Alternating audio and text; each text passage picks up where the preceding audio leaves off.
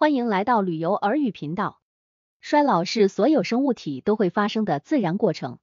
随着年龄的增长，我们的身体会发生各种变化，这些变化会影响我们的健康和幸福。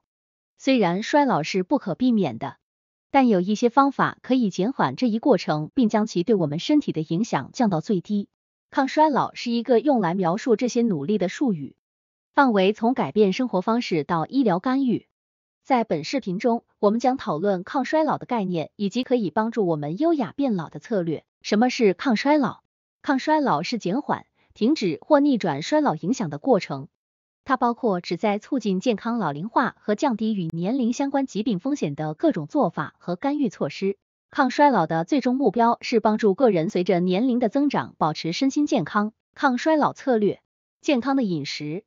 健康的饮食对于促进健康老龄化至关重要。均衡饮食包括各种水果、蔬菜、全谷类、瘦肉蛋白和健康脂肪，可以提供必要的营养来支持我们身体的正常运作。富含抗氧化剂的饮食还可以帮助保护我们的细胞免受自由基造成的损害。定期锻炼，定期锻炼是抗衰老的另一个重要组成部分。运动可以帮助保持肌肉质量。提高骨密度，降低患心脏病、糖尿病和癌症等慢性病的风险。它还可以促进健康的大脑功能，并可以降低认知能力下降的风险。压力管理，慢性压力会加速衰老过程，并增加与年龄有关的疾病的风险。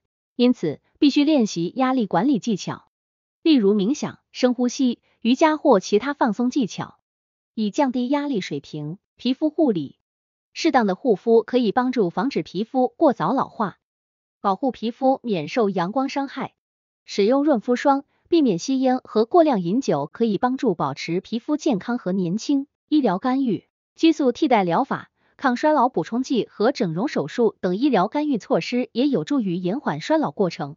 然而，在开始任何医疗干预之前，咨询医疗保健专业人士，以确保其安全有效是至关重要的。结论。抗衰老是维持健康衰老的多方面方法。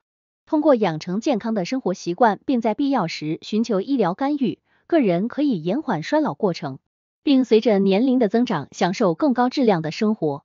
虽然衰老是不可避免的，但我们可以采取措施将其影响降至最低，并优雅的变老。